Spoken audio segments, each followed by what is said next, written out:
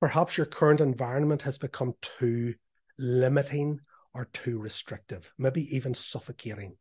And you're so much more in you that has to be expressed, but it can't be expressed where you are.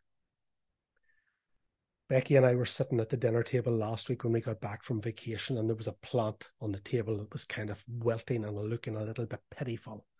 And I said, Becky, that plant looks like it's dying. And she said, You know what, Craig, you know what it needs? It just needs repotted into a bigger pot and it'll come to life.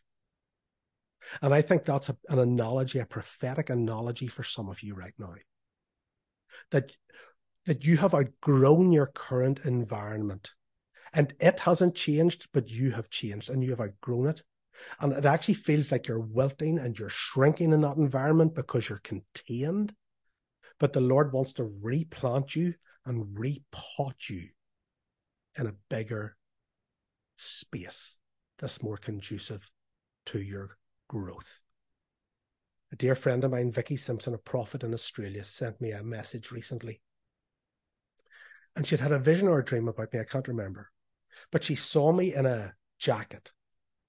And I was wrestling to get out of this jacket because it was tight and it was restrictive and it was uncomfortable. And I was trying to take it off. And immediately I knew what she was talking about. It was some aspects of my ministry that I've been really wrestling with. But I think that's a picture for some of you. The jacket used to fit, it suited you, but now you've outgrown it and it's time to take it off. And I believe this is a season of remantling that the old mantle God has taken off you and he's placing a new mantle upon you. And for many of you, the things that you have been doing in ministry and in life, they were fruitful, they were wonderful. God blessed it.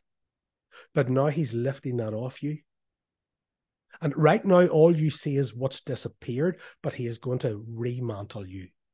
He has got a new mantle for you. He's got a new jacket and a new coat for you to wear if you will keep pressing through this season of transition.